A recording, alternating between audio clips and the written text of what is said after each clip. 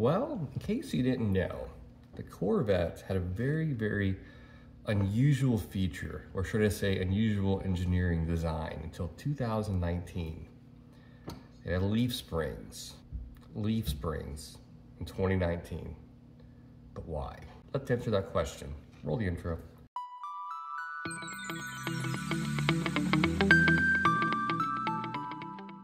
What's up guys, welcome back to the channel. Happy, what is today, Tuesday.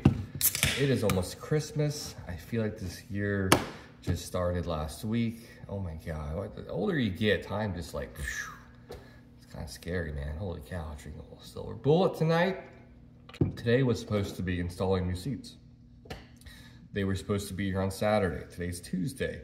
Now they're supposed to be here Friday. So hopefully the next video will be putting new seats in the C5Z. In case you don't know, I've had the Amazon specials for five and a half years. I'm officially retiring those guys. Had a good run with them, nothing wrong with them. Just get a little worn out, you know. But I think I was one of the very first people to do video on those damn things back in 2020, man.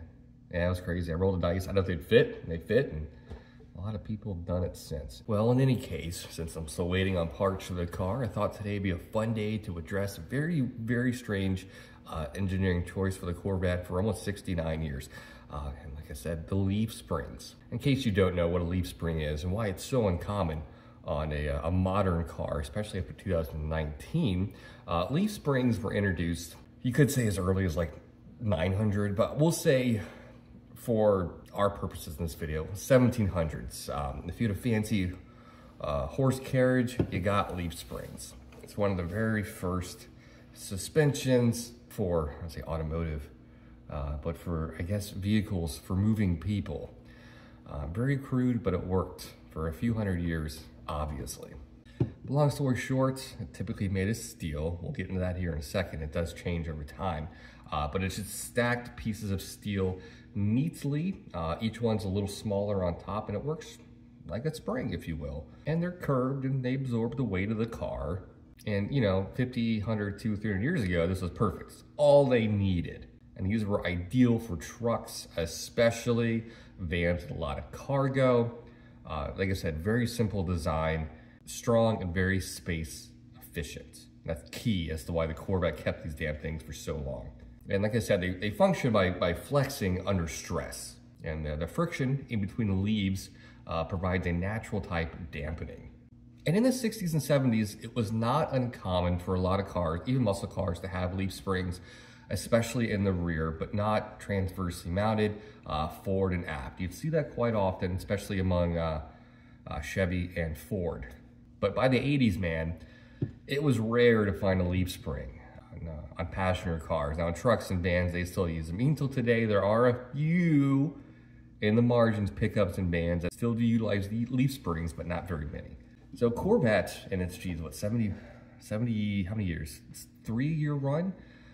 Uh, close to 70 of that since 1953 has used leaf springs in some regard. Now, 53 when they came out, uh, in the rear, they had leaf springs, but not mounted transversely, but forward and aft um, all the way through the C2 and up until, um, no correction there, in C2 they still used leaf springs only in the back, but now they were transverse, meaning they went from uh, wheel to wheel instead of forward to back. And they used the stacked steel design until 1978, where they got rid of those for weight reduction and simplicity for now a fiberglass composite plastic situation. C1 to the C3 to the end of the C3. They all use leaf springs in the rear only, and they still had uh, coils up front. Now by the C4, they completely jettisoned all springs. Now it's all, well, coil springs, if you will, and by the C8, it was all exclusively uh, leaf springs front and rear, transversely mounted. And it's still crazy uh, how rare that is. All the way to 2019, a leaf spring in a performance car. Quick fun fact before we go any further, uh, when I bought my very first Corvette, I was an E2 in the Navy. This was 20 years ago. I got my, my enlistment bonus. I was on submarine, so they were like, hey, you have some money. I was like, cool. And I thought this was a great financial decision because I always wanted a Corvette. Uh, I ended up buying a, a C4 1995 105, I think, thousand miles on it, yellow. I think I paid like $9,000 for it. I knew about cars, but I wasn't really invested in Corvettes yet. I didn't know it had leaf springs for like a week. Uh, After Kovacs, that was his name, my, my first ship or boat. And uh, he was like, dude, you got a Corvette? I was like, yeah. It's like, it's crazy this have leaf springs. And I'm like, oh, like, what are you talking about? I almost kind of fight with them. And like, dude, I'm telling you, they have leaf springs. And sure enough, I go out there, open the clamshell, and I've seen it a few times. I just assumed uh, the shock was a coilover, but it wasn't. I was like, holy shit, it is a actual uh, transverse leaf spring. And I was like, that is a very strange um, engineering design. And this is right when the C6 came out. I did my research. I'm like, oh, the C5 has them and the C6 has a leaf spring. I was blown away by this. And it made me very curious. I was like, why does, why does Chevy do this? Very, very weird. But it works, obviously, right? Anyways, let's get, let's get to the why. Why did Corvette team use these until just six years ago? Uh, firstly, better packaging and design. In case you don't know, if an entire coilover with a spring, you need a lot more room up in your wheel wells. Uh, Corvette's a very low slung car, if you will, and they designed the pushrod motor to be very, very low in the car. Um, by providing uh, transverse leaf spring, you can have the shocks mounted relatively high inside the wheel well and use the, uh, the very simple design of a leaf spring uh, to tuck your wheels super high. And it was very clever and it worked just fine. And looking at the C5 now, it makes it a very, very low car and it's very clever the way they did it. Secondly, simplicity and weight. I have coilovers on my car now, but I believe um, the weight difference was almost a wash. I believe I weighed all the components of the coil versus the leaf spring. I think the leaf spring was still a little bit lighter. Again, this is installing R&D coilovers way after the fact, 20 years later, that would be much lighter than would have been years ago. And lastly, cost in manufacturing. This one makes the most sense because it, wor it worked in a performance environment, obviously.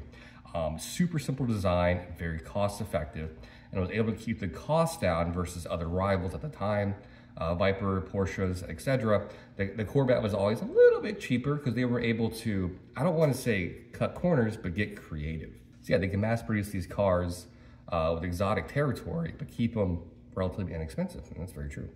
However, uh, leaf springs are not all peaches and cream. There are some disadvantages uh, to having leaf springs, especially on a Corvette. Uh, reduced independence, meaning crosstalk. Whatever one, one side of the wheel is doing, you're putting stress across that member to the other wheel. So like I said, they're not independent, the wheels of each other. Whatever one's doing at high stress, the other one's doing in a low stress situation. So it's not properly balanced. Uh, secondly, harshness, especially if you lower them on the stock bolts. The more you lower them, the more stress is on that leaf spring and it rides like doo-doo. Ask me how I know. But yeah, the lower you get these things, man, on the stock leaf springs compared to coilovers, oof, it's rough. It looks good, don't get me wrong, but it's, it's a chore to drive. And lastly, uh, tuning these for a track day. It's really hard to tune a leaf spring versus a coilover. Coilovers, each wheel independently, depending on what type of track, you can tune it in, uh, the compression and dampening, right? But a leaf spring, you're stuck.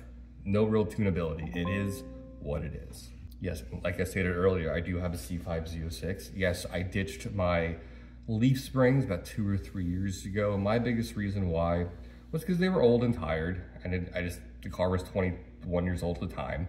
Um, I didn't like the crosstalk. I wanted independent suspension, independent suspension for each wheel, which that provided to me. And like I stated earlier, I wanted to be able to adjust the ride height. Slammed on leaf springs, the ride's terrible.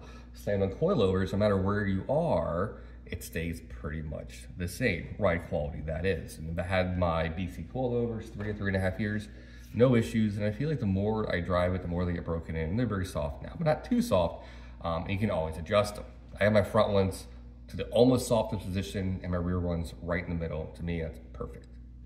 And lastly, why did the, the Corvette, the C8, finally ditch the tried and true leaf spring? Long story short, mid-engine packaging. Completely redesigned the Corvette, pretty much uh, copied a, a, a, Ferrari 458 as far as a chassis, very close to it.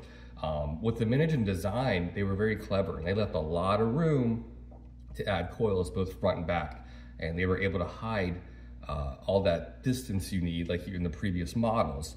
So by going uh, mid-engine, if you will. It gave them the, the leeway or the, the freedom to get creative and add proper coilovers. Um, if you've ever driven a C4 to C7 versus a C8, it's kind of crazy how well a C8 drives. My The C5 in stock form is a little harsh. The C6 is better. The C7 drives very well for leaf springs. They've gotten it, they tuned it really well on the C7. And It also has to do with the body rigidity. That's a whole other video for another time. But with the C8, man, I had a um, non Z51 C8 and uh, that thing, even with the Paragon springs I put on it, um, it rode very well. The time my wife had a Cadillac SUV and they were almost similar the way they, they drove. So the coilovers on the C8 are, are absolutely uh, phenomenal. Uh, and I, with dampening, you know, with the, the magnetic ride, it's even better.